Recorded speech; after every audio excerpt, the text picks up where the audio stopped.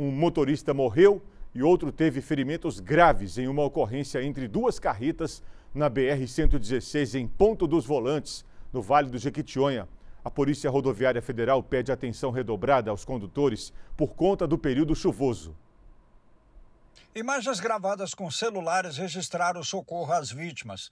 A frente de uma das carretas ficou destruída. O motorista morreu. No outro veículo, o condutor e a passageira tiveram ferimentos graves. Ambos foram socorridos por militares do Corpo de Bombeiros. Foi iniciado o trabalho de desencarceramento das vítimas presas às serragens.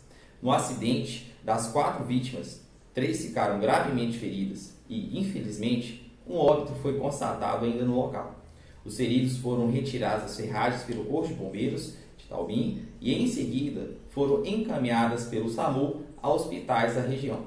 A PRF avalia as causas desse acidente. Uma colisão frontal no local de pista boa, bem conservada, na qual não tem uma causa ainda porque um veículo invadiu a contramão, né, não foi por ultrapassagem e colidiu frontalmente com outro veículo de carga. A PRF alerta aos usuários sobre as normas de segurança reforçada em função do período de chuva. A gente espera é, que os motoristas né, eles tenham um comportamento melhor em relação à chuva, é, reduzam a velocidade, é, é tenham mais paciência no trânsito. E da parte da PRF, né, a gente é, intensifica a fiscalização, colocando viaturas em locais de grandes incidência de acidente justamente para coibir né, esses maus comportamentos que podem gerar acidentes. Nas próximas horas, a Polícia Rodoviária Federal de Teoflotone vai reforçar a fiscalização no trecho entre Frei Inocêncio e a divisa de Minas com a Bahia, principalmente em função do feriado de finados no sábado, o deslocamento de pessoas entre cidades e a necessidade que os motoristas tenham atenção, principalmente em função da chuva.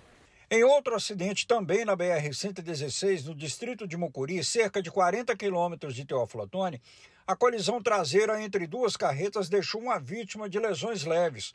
O policial rodoviário pede aos condutores de veículos de carga mais atenção.